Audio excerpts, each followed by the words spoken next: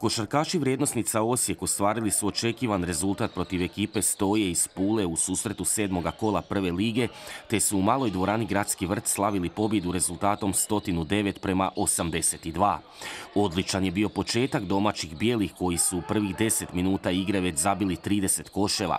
Uslijedio je tada pad Osjećana pa su gosti uspjeli stići rezultat pa i minimalno povesti, ali se brzo Osijek vraća i do odmora ima prednost od 4 pojena razlike.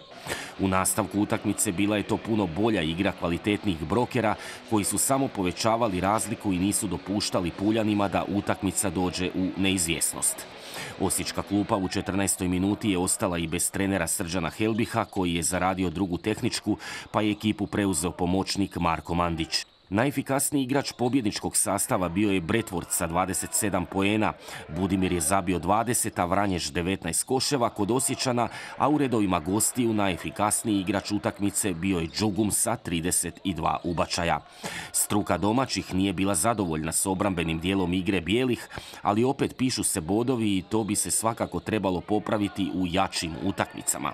Vrijednosnice Osijek nakon sedam odigranih kola imaju pet pobjeda i dva poraza i nalaze se na samom vrhu ljestvice prve lige, a isti učinak ima i ekipa Omiša. Sljedeći susret osječki košarkaši igraju u nedjelju u Zadru kod domaćih Jazina Arbanasa.